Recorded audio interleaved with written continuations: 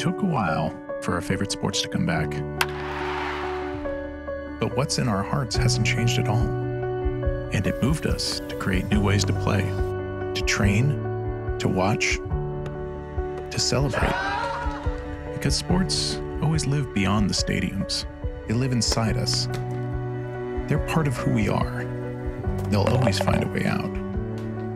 It's you that's keeping sports alive and kicking, flipping, throwing, cheering. You've kept sports going. And we say, keep it going.